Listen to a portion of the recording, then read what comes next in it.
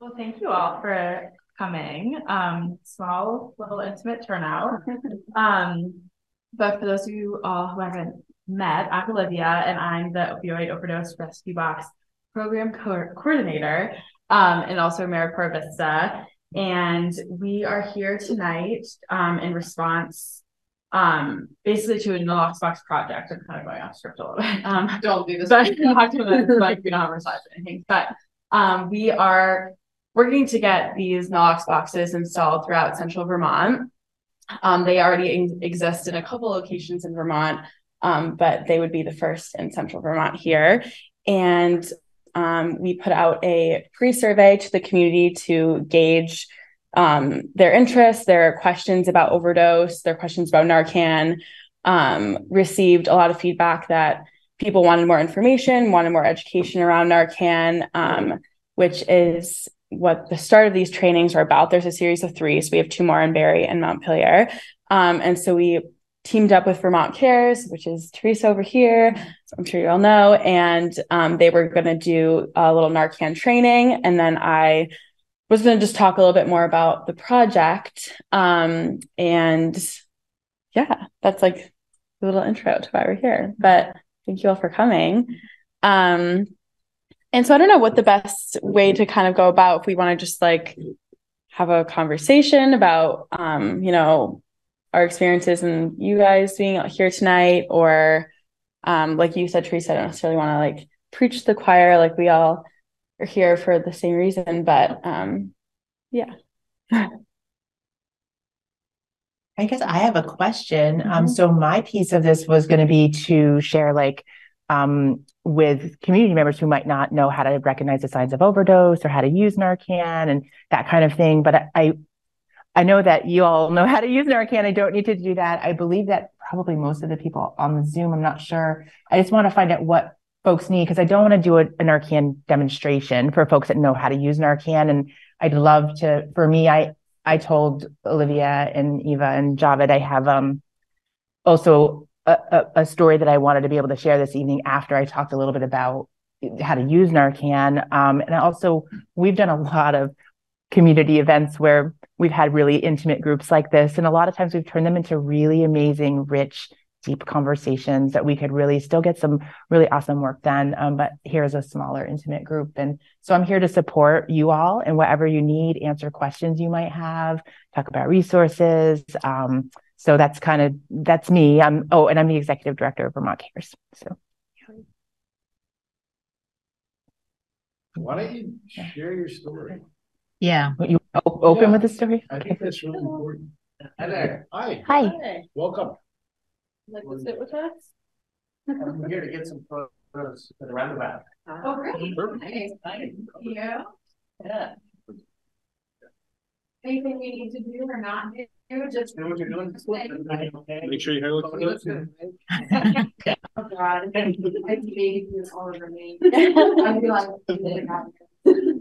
Um, I guess I probably should at least share a little bit about who I am and who Vermont Cares is for folks that may not know. Um, That'd be, that'd be great. that would be helpful probably also for folks on on um, on Zoom here. So Vermont Cares is um, one we're a part of the CVPC coalition, um, but we also are a statewide nonprofit organization uh, that does um, HIV prevention and care and harm reduction. So we operate um, syringe service programs around the state, uh, one in Barre. Uh, one in St. Johnsbury, one in Rutland, and then we have two mobile vans. So we have a pretty expansive program across 11 counties. Um, I have been the executive director for just over a year, but I've worked for Vermont Cares for 11 years. Um, I started at Vermont Cares as a case manager, uh, working with people who are living with HIV, um, and sort of made my way up through the ranks um, to uh, to the executive director position. And I think the reason that I've stayed and and been so committed to this work is um, one, I'm a person um, who has recovered from really life threatening, chaotic, chaotic um, drug use. Um, and I've always wanted to be able to help other people. Um, and recently, um, I've had a renewed a renewed um, sense of urgency um, to the work that we're all doing, and for the reason that we're all here is so important. We're here to learn how to save lives, right? The work that we all do with harm reduction in your fields, um, emergency service providers, medical providers, we all are here to, to save lives and to help people. Um, and I live and breathe this, right? And um, I recently was in a situation at a a, um, a little bar restaurant um, for an event and with my family, and um, someone experienced an overdose while I was there in the dining room. The worst thing ever I could ever imagine happened, and that was I didn't have Narcan on me. Me, the person who talks about this every day, who has devoted the last decade of my life to this and, and genuinely really believe that everybody should have Narcan and access to Narcan. And I didn't have it. I do this work every day. I talk about this every day. It's around me all the time. I left home without it. Mm-hmm. And so I, I guess I, I really wanted to speak to people here tonight and say, I get it. Like, why would someone who doesn't do this and doesn't know anything about it, hasn't been impacted by it, also be like, gosh, I need to have that medication on me at all times. New perspective. Um,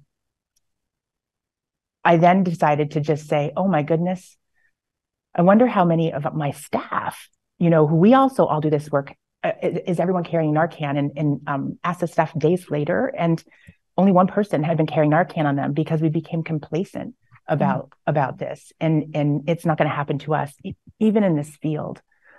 Um, what happened in that moment for me was there was a lot of people in this in this building, and not one person had Narcan, and people were screaming, "Does anybody have Narcan? Please, somebody get Narcan!" And I just I kept looking through my purse, even though I knew I didn't have it, and I just kept like dumping it out and I knew I didn't have it and I felt so helpless and also so so upset. It was super traumatic like like probably nothing I've ever experienced before. And I realized then and I've done a lot of these trainings and a lot of times community members especially will say I don't know about that. I'm nervous. What if I don't use it right?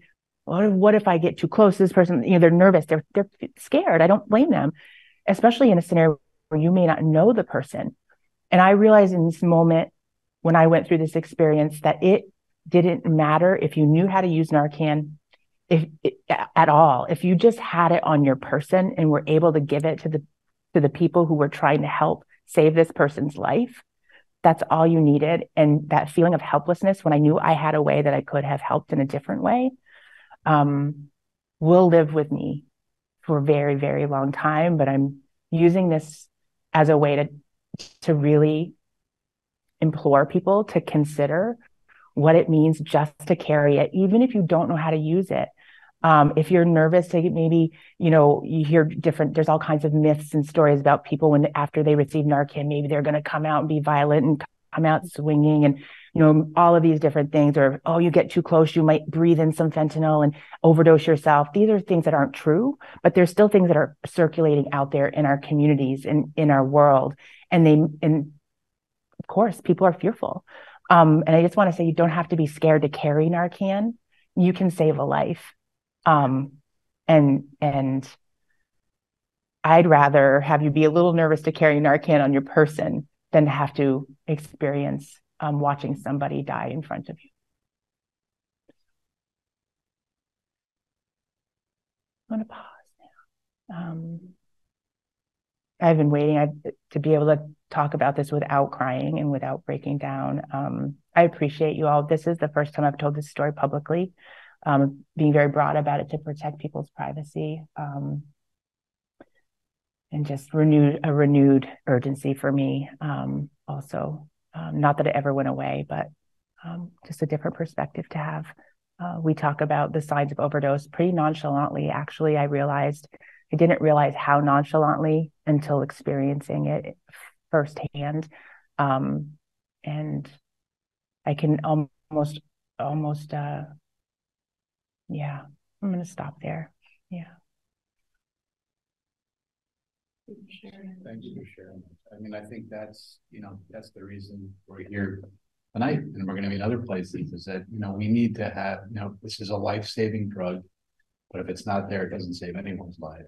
And we need to get it into the hands of people, not only that use drugs, people that are with people that use drugs, family members of people that use drugs, and the general public, because all it takes is one of these things to be there. And you're right, no one, you don't have to give it up in a carnival. There are plenty of people that can and will. Yeah. But it has to be there. Yeah. You know, and that that's such a powerful story. And, and I'm sorry it had to go through. it. Um, but we're gonna bring some good from that. We're gonna bring some good from that. That's right. And uh, Super. Yes, yes. And and I would like to say also the, you know, uh, when EMS came, they did such a great job. Um, you know, and and that felt really good too. Um, to to see uh the, that interaction happen in this particular place in a really kind and compassionate way. Um, so that was good too. Yeah. So. Yeah. Um. What, I guess, I'm bringing it back over to you, Olivia. No, thank you for sharing that again. Um, I mean, yeah, I guess I could, I could talk more about the project. Why don't we go like, through the project slides? sure, That'd be yeah, sort of a, a good place to start. I'd, I'd love to see it. sure, Okay, do you want me to share it over here? yeah, that would be great. I want to have one of these in every single business across the state. Yeah. Well, yeah, I mean, your, your story reminded me very much of probably the first person who ran into someone who coded in a public setting. Who, you know, maybe had seen a CPR course or had heard about CPR, but. You know, everyone around him is nervous to do it, or you need an AED, someone please get an AED, you know, and I mean, it sounds like we're working on something that will. Be similar to that, which in turn will, I think, you know, down the road, we'll find that similar to the AEDs, we're gonna find people who are going to. We're gonna be saving lives by implementing these, so. Yeah. Maybe that segues into. Yeah. Your Yeah. thoughts, yeah. So that's perfect. Great. Yeah. Put it on Yeah. So if someone. shoot me. I think that, um, Let's go through these slides and then kind of Mhm. assess where we're at. Okay, you can go to the next one. So I wanted to start with this graph, um, which is showing opioid related deaths over the past 10 years in the state of Vermont. So it's a statewide graph, but it's pretty um, jarring, just the drastic increase over the past 10 years. Um, 2019, there was a little dip, but then it went right back up in 2020 due to the pandemic. And in 2021, there was 217 opioid related deaths. Um, and we don't have the data yet from 2022, but they are set to surpass these numbers. And I just thought this was just a good visual for everyone to just really understand that it is an increasing issue um, for sure. And it's not going away. Um, getting Narcan. So we actually have Narcan here for everyone um, in person tonight who would like to take some. Um, but these are also locations that um, you should be able to get Narcan from.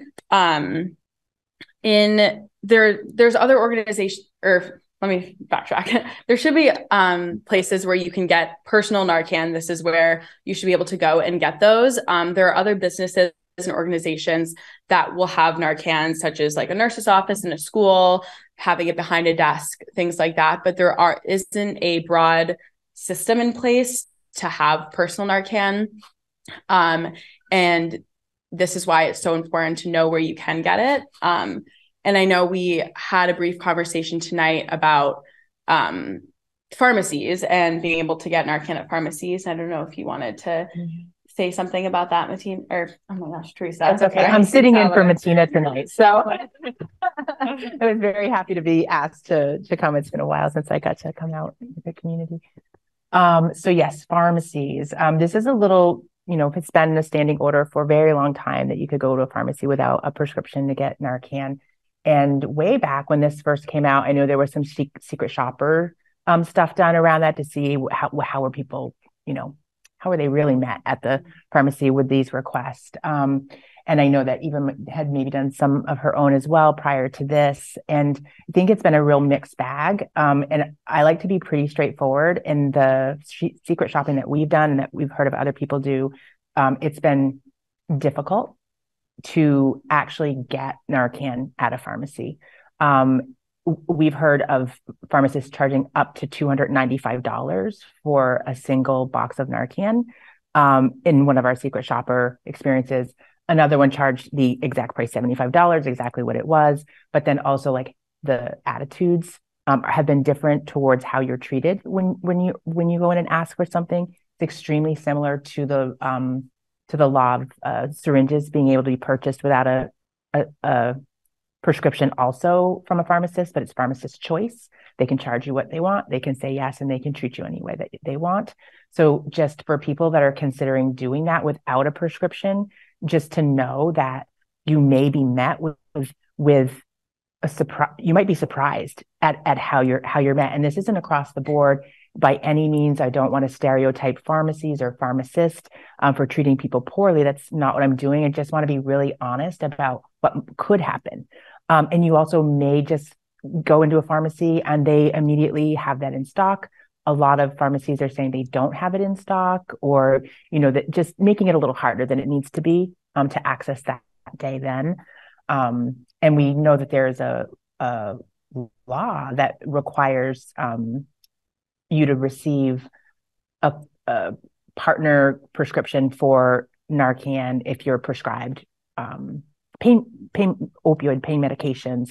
Um, and I believe that those prescriptions, the feedback I've heard on those, it's been much easier. If you go with the prescription because you're also picking up your um, prescription from the farm from the from your physician, those folks haven't had as many barriers in getting the Narcan. Um, and this is some old stuff too from years ago, some newer stuff.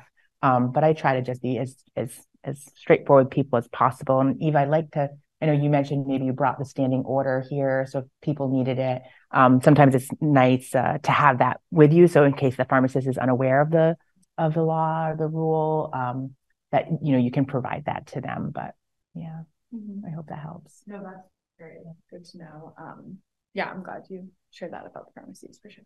Thank you. And yeah, can go to the next slide.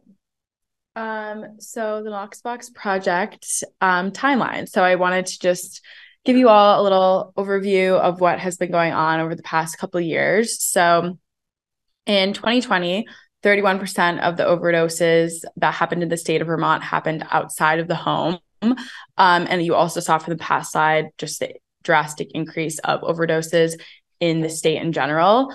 Um, so due to this is why a work group formed and um, our work group consists of partners um, from the Barre Fire Department, um, Barre Police Department, Vermont Cares, um, the Me- Vermont Medical Center, EMS, and many others. Um, and they, they have worked with us to try to increase access of Narcan to bystanders um, and hopefully save lives.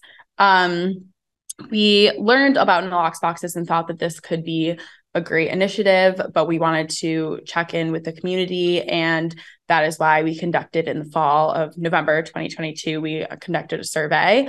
Um, and the survey results were um, we were able to create goals and understand the community a little bit more. And it sounded like a lot of people really were eager to get more education surrounding naloxone and overdose.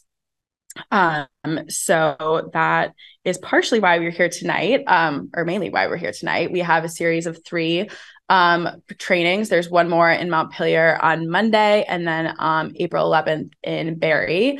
Um, and we hope to um, launch off of those from installing some um, pilot locations for our Nalox boxes. Usually, they're going to be like at some of our partner locations, and then broader installation around central Vermont is the goal.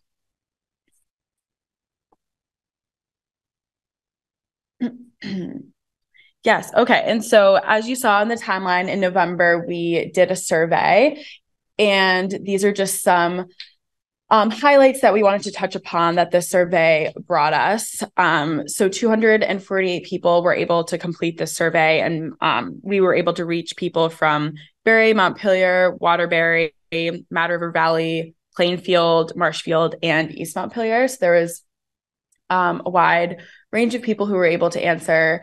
Um, 76 people agree that having Narcan available in public places will help their community.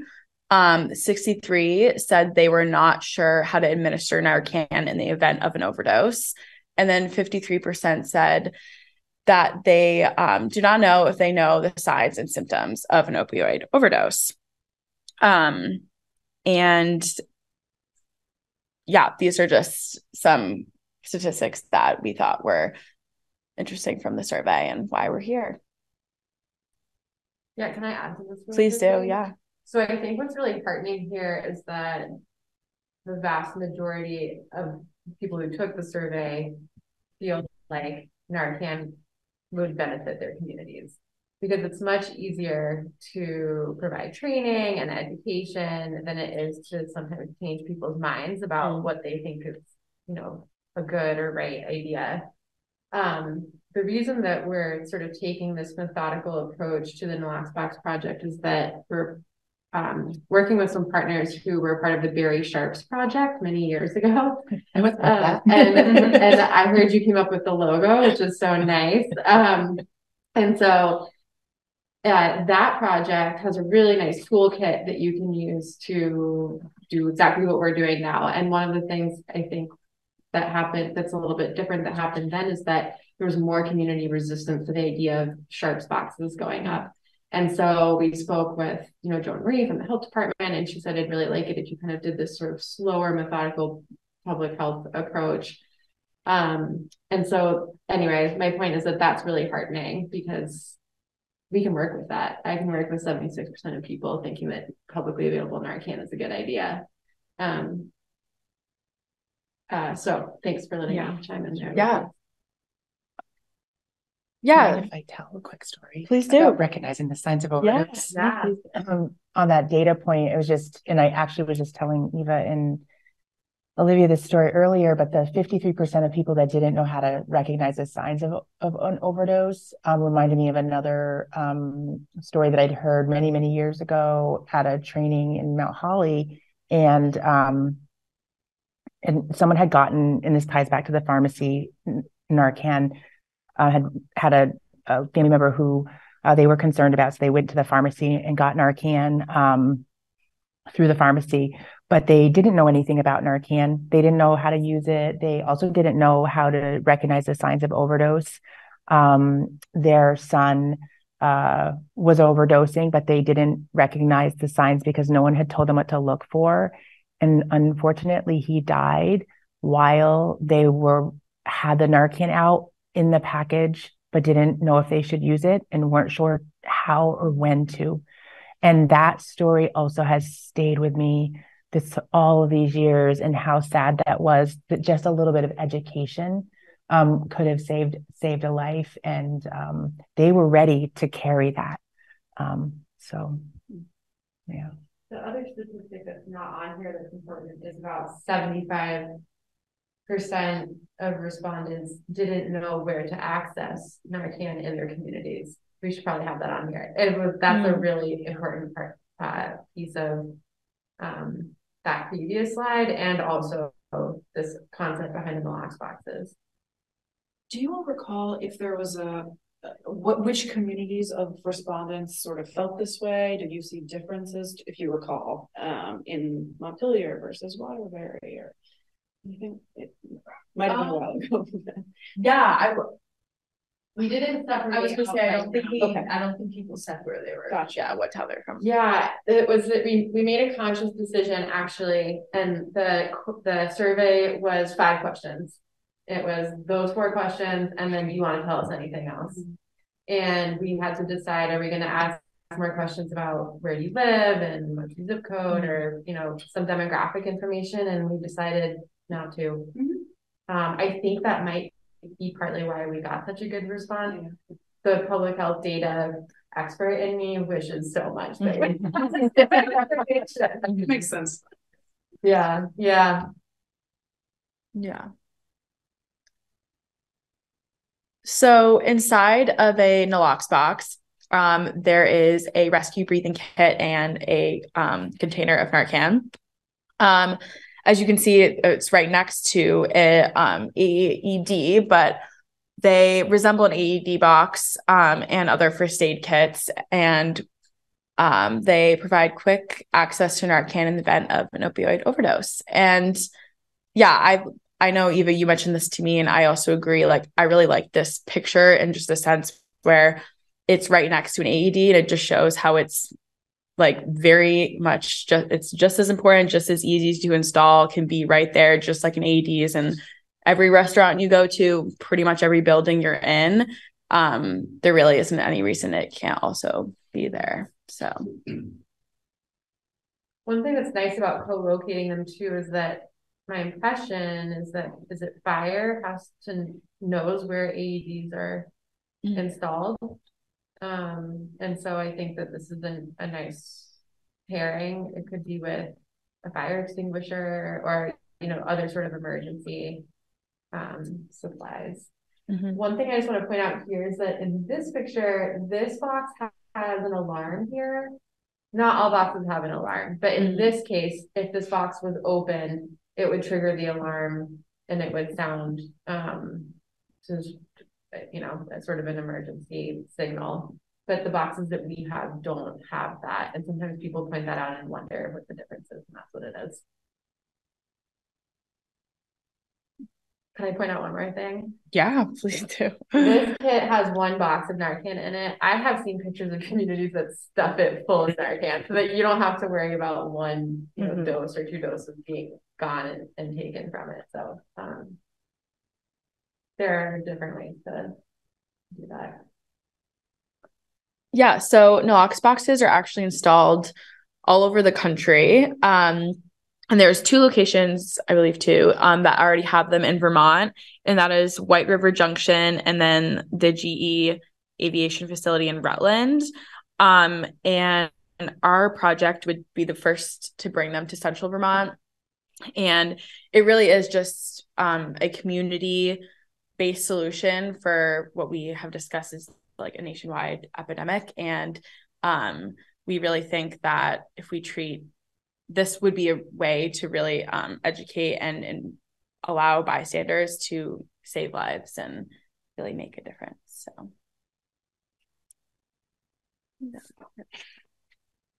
That's it. On that last slide, I mean, that's all there are in the whole US? Mm-hmm. Really? Wow. I mean, well, that's. Mhm. There's actually a website, their website, you can like, if you see one that's not on that map, you like type in where you saw it and it's kind of like, I think a self um record Hmm. types, but that is, Wow. yeah. I have a question, Eva. Mhm. How can uh you obtain not uh one of these outside of outside of the Central Vermont project? Um, can anybody um purchase or obtain these boxes? How does that work? Yes, you can go to www. I have Naloxbox dot, I don't know, they have a Okay, so- website. So it's super Yeah. um attainable. It's to anyone, I am under the impression that anyone can order Nalox boxes. We get them from the UVM Center on Rural Addiction. Okay. Um, they cost a couple hundred dollars. Um, and they do not come stocked with Narcan, so you and your community need to figure out how you will stock them, monitor them. Yeah. This is really great, uh, really, really great to know. Um, I will, I, we will be purchasing some of these to put out in non-central Vermont areas. I think it's just really, really, um, it's really such a great, easy way Mm. to, like you said, to get this out there for people, um, who, who aren't carrying it. And I, and I think because we are all going to maybe forget to carry it on our person every now and again. And, um, really awesome. Thank you all so much for your hard work on this project. It's really awesome. Yeah. are excited for the sort of pilot installations and then that will help us work through some of the processes and how do we how often do we want to check them and how often are we checking in and that kind of thing and um and then the next step will be putting them up and trying to make sure that the installation locations are data driven so that they're really making a, a difference, but also finding where there's readiness with partners to install them. So um, there's a little bit of a balance there. Yeah, I mean, I think this whole kit is amazing. I mean, after hearing your story, I'm just thinking about, you know, myself like being an off-duty EMT in my community.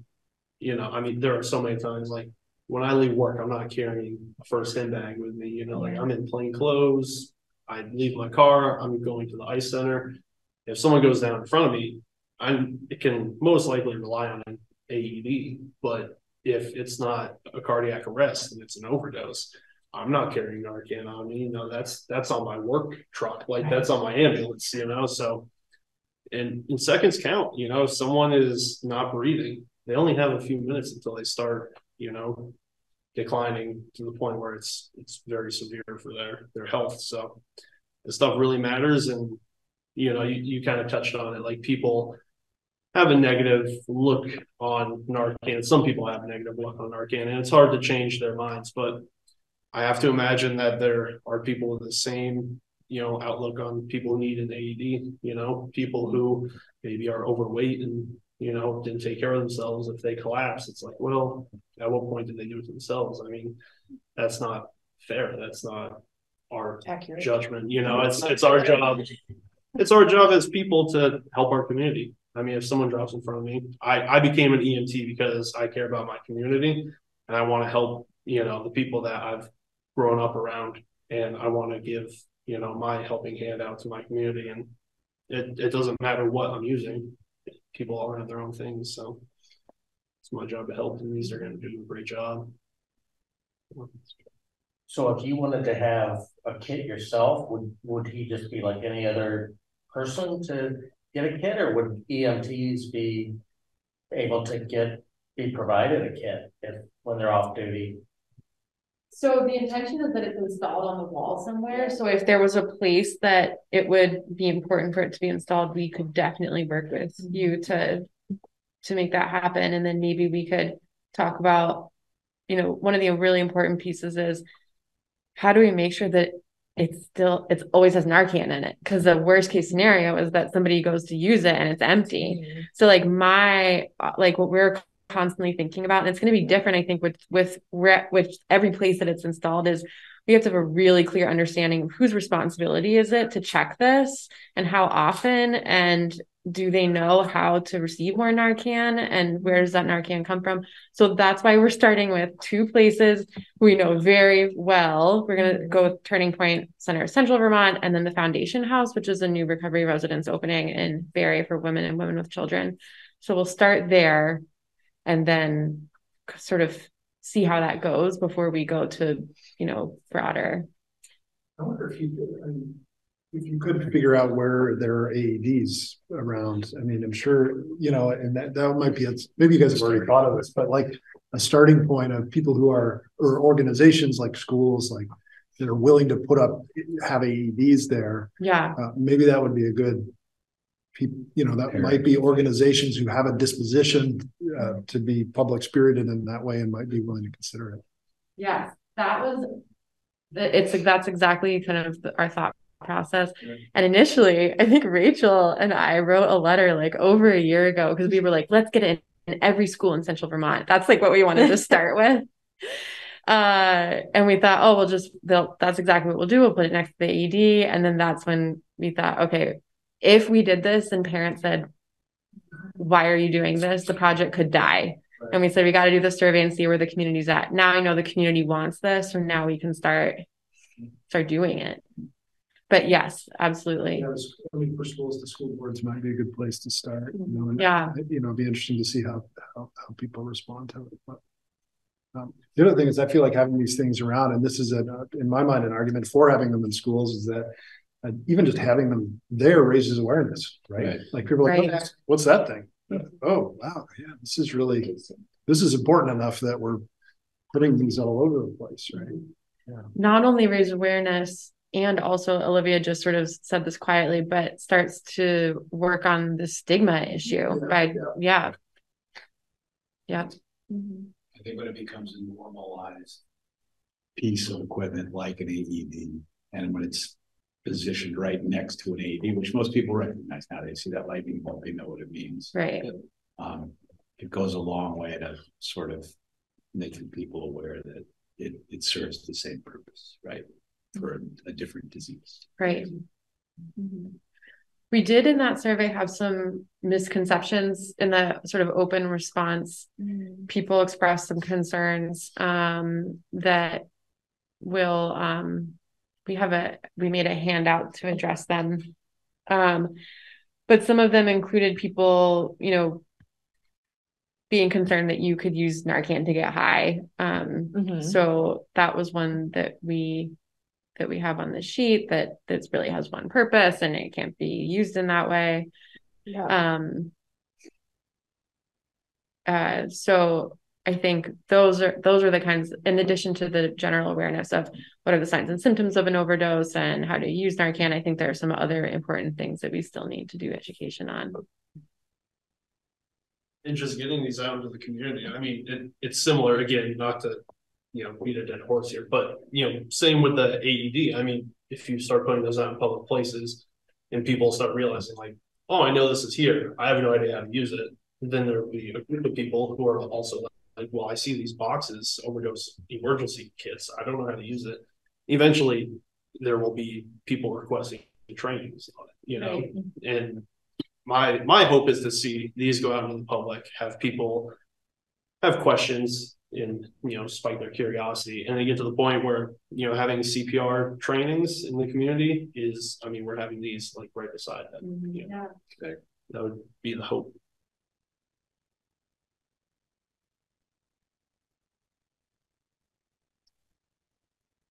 Well, at this point of the night, we were going, we had a pre-post assessment that we didn't do, but we were going to transition into like an open questions and answers section.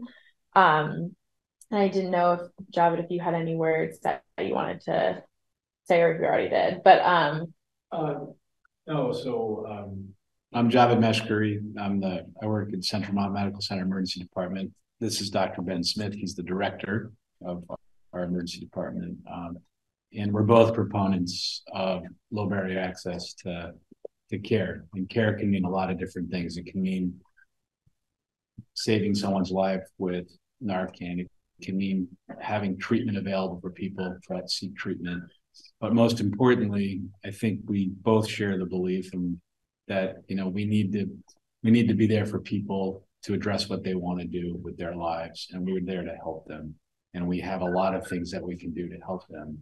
Um, and what I like about Narcan is that, you know, it sort of signifies the rule of people taking care of themselves when they have when they use drugs. And the first rule of getting help when you use drugs is what?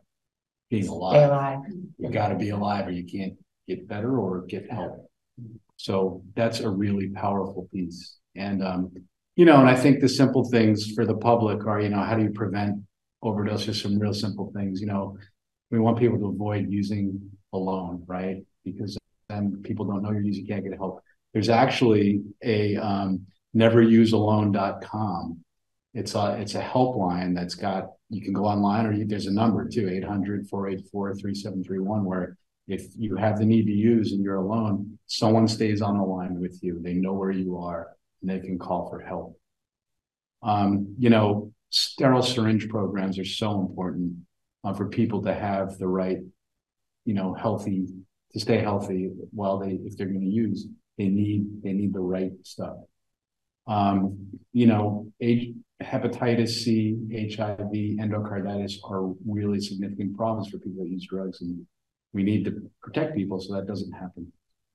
Um, and then things like this, fentanyl test strips, you know, most people still don't think they're using fentanyl and we know what the, what the makeup of drugs are. Plus there's all these other, other things that are, this is the synthetic wave of the opioid crisis now. There's just all kinds of things that people don't know anymore what they're putting in themselves. So being able to test is really important using smaller amounts of, of, of drugs if you're gonna use them. Um, carrying Narcan, like we talked about all night, and then having people know to call nine one one as well, so you folks can get there and help them. Um, that's what, that's what we're trying to do, and then if people come to our department and want help. If they want to get into treatment, we can do that, we can start people on medications in the we can link them to services. We're staffed twenty-four seven with people with lived experience that come in. They've been there before. Um, they're, they're, they're, they're an example of what happens when people, you know, want to get help. Um, it serves both not only to the people that are using drugs, but the people that take care of people using drugs, this is what it can look like. So, um, I think it's really important to have these kind of forums where we come together and talk about it. Even if we're talking amongst ourselves, this is equally as important. People may be able to see this another time. We're gonna do more of these. And you're gonna do more of these now that you've signed up, so it's good. But it's really important, you know, and, and, and, and it's exactly what you said. It's like, you know, this, the, the, the fact that people use drugs has been going on for centuries. But it's not a family's problem. It's not Teresa's problem. It's not the hospital's problem. It's a community issue. And there's no way that we can do it in our little silos if we don't work together as a community. So this is the crux of what it's about is little meetings like this that go a long way to get things done and get people the help they need. So that's all. So Thank you.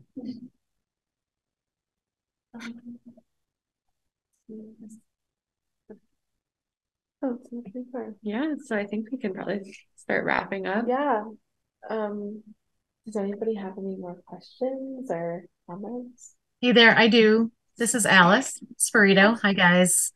Um, thank you so much for having this. And um, Teresa, you did great. I appreciate that story, and I'm sorry you went through that. Um, I actually kind of had a similar situation. I used to work at the hub in Berlin, the methadone cl- um, clinic, and we very sadly lost a patient due to um, the family member not um, calling 911.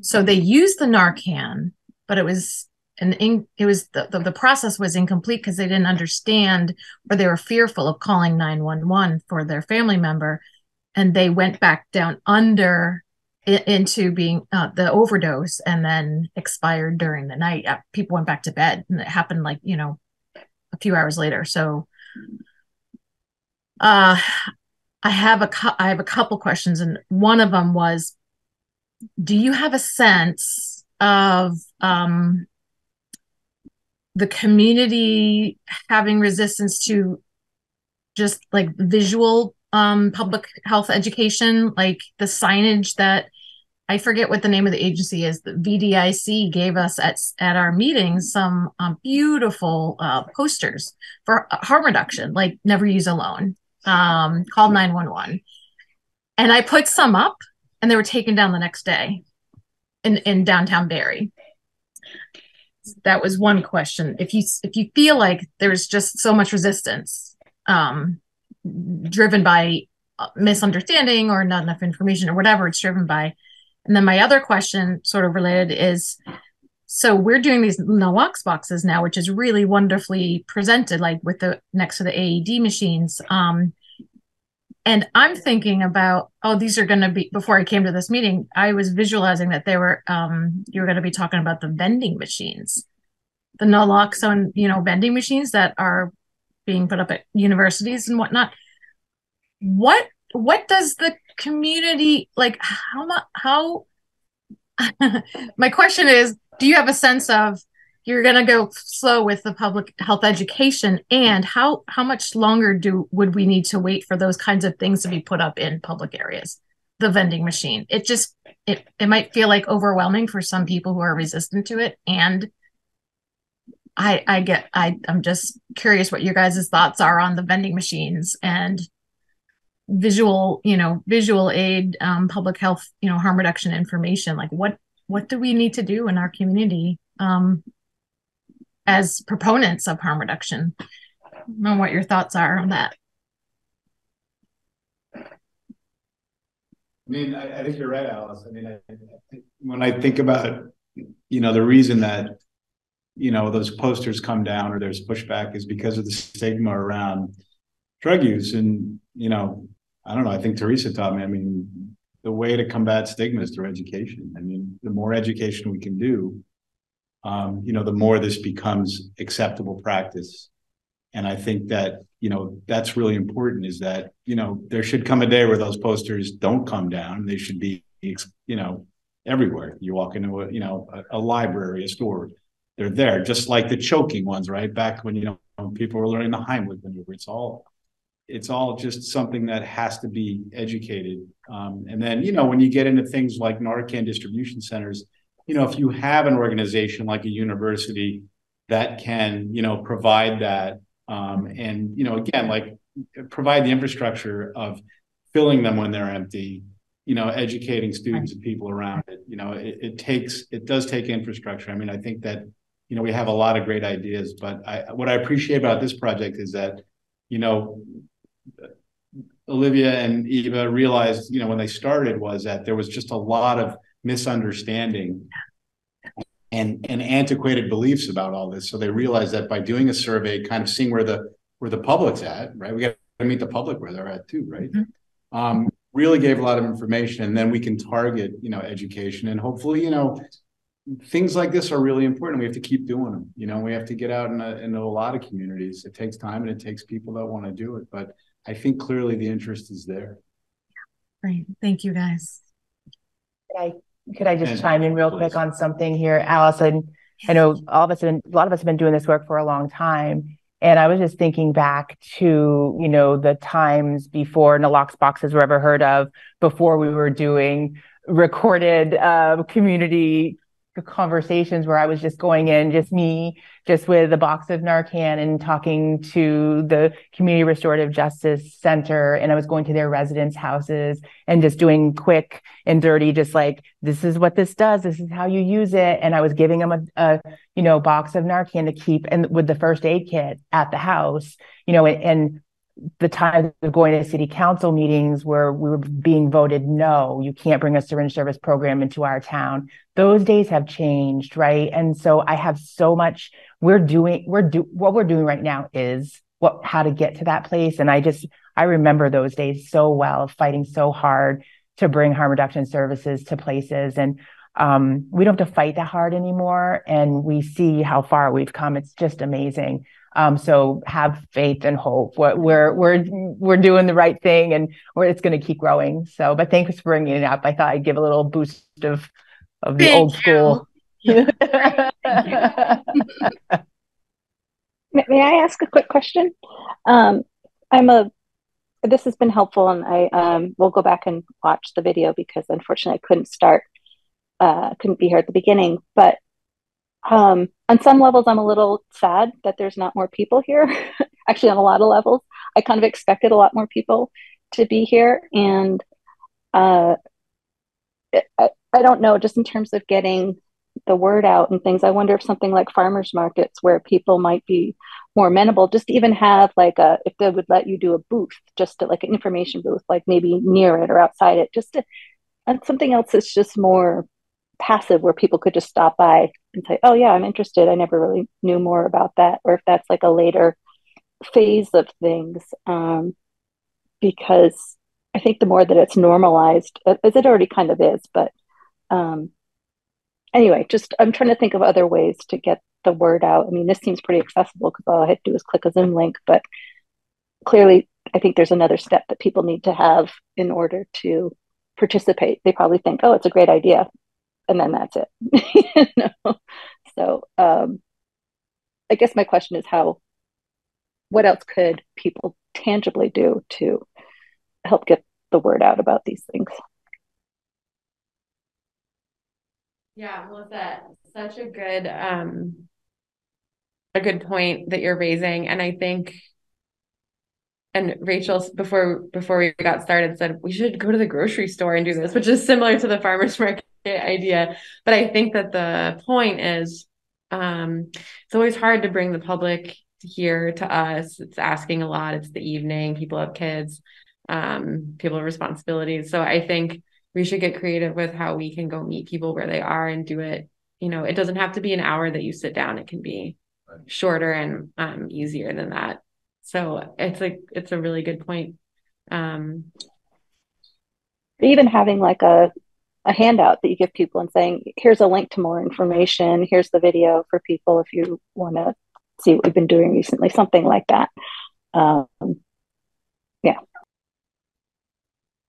Absolutely. I, I feel like a lot of these recent questions are very related. And I agree, Melissa, going into a variety of public places, like I was sort of kidding when I said the grocery store, but I'm not kidding. I mean, I, and I think similarly to the presence of a Nalox box is the work that we're doing is by putting this out there in the community, we are saying people who use drugs exist and they have a right to be in these spaces and they have a right to be here however they wish to be here. And we want to provide what we can be like providing to make sure they are safe or as safe as they wish to be.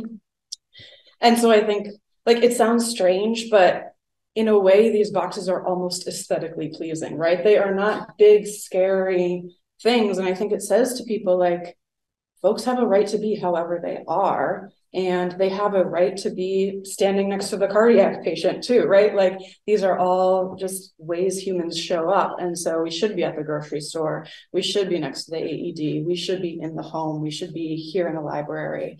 So yeah, I think there's like Alice and Melissa's questions are very intertwined in that way. Like we have to fight to show up. Folks have to sh- like fight to show up every day, no matter who you are or what your life is about.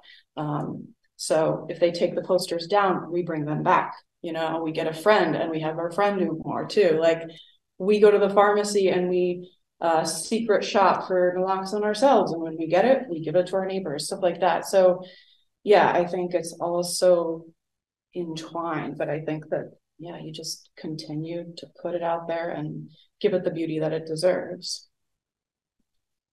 So well said.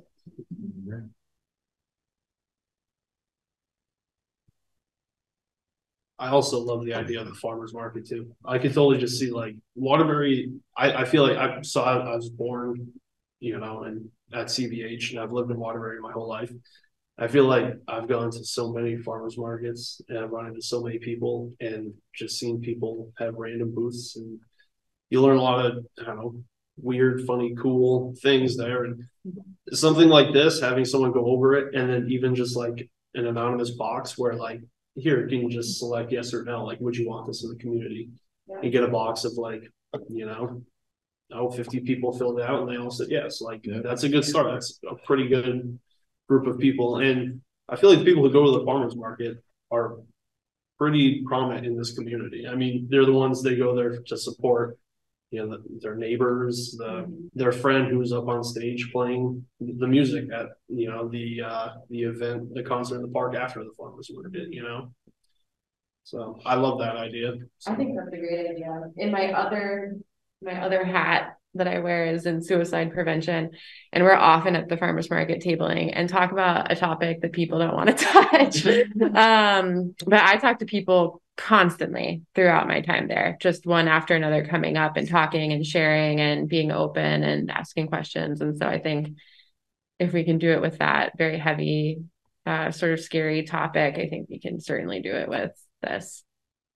Yeah, I love that because not only would you have this box to be talking about your community project, but you could also tap Vermont Cares and make sure you had the personal carry supply at that same table.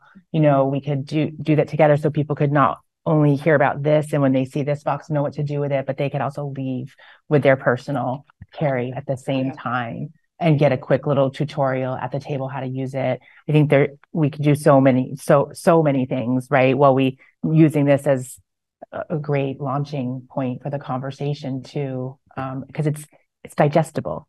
It's it makes sense. It's logical. It, it people who aren't familiar with this can say, "Oh, yes, I I know. I've seen those AED, you know, boxes, and and really understand that because the bottom line is we're all humans, and we we naturally want to help other humans. Like that's just inherently who, who we are as beings. Um, and and I don't think it's that hard of a it's that hard of a sell. Um, but it does seem so, like oh, the far- would we go to the farmers market because of all that stigma that we've all been you know entrenched in for you know for so so so so long. Um, I love that. There's such a great idea, and I love farmers markets. Also getting the word out about how easy it is to use this, right? I'm, you know, as I'm just listening to the conversation, I'm wondering like, how many people actually know that? Right? I mean, this is, I mean, AEDs are pretty simple to use, but even those are, you know, we gotta like open it up and you gotta look at the. I mean, this is, this is so simple to say, Yeah. so easy to save a life with this. And it doesn't require a lot of training. It, you know, you put it in their nose and you push the button and, you know, most of the time that's gonna save a life. Um, and it's so easy to do that, right? Like, Take the judgment out of it, but goodness gracious. When you think of each component We of can all do that. CPR, it's like, I mean, you need to start your compression, so you need to Right. place the pads. I What's mean, right and left? and I before mean, that, come yeah, on. you need to open it, like, there's so many things, and this is, yeah, it's- oh, you Yeah. open the package There. in the nose, push. Push. And Exploding. So. Right, you're not, uh, Right, you're not gonna, right. Compare, yeah, you can't, They don't- basically they can't didn't- right. basically Yeah. can't hurt somebody, but yeah. And don't forget, I have personal carry Narcan here for anybody that wants to take that with them um bef- before you go. We'll make sure that we get that for you. Yeah, Melissa, we um would love to connect with you if you'd like to receive some yourself. Um, we can easily make that happen. That would be great. I would, I would love to be part of.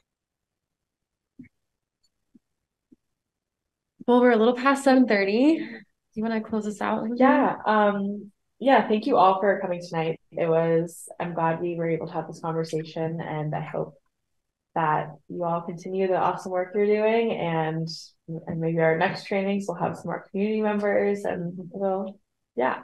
So thank you all so much. Thank you, guys. Thank you. Keep up the Good work, everybody. Bye. Thanks, Alice. Thank you all. Thanks so much. Bye-bye. Bye.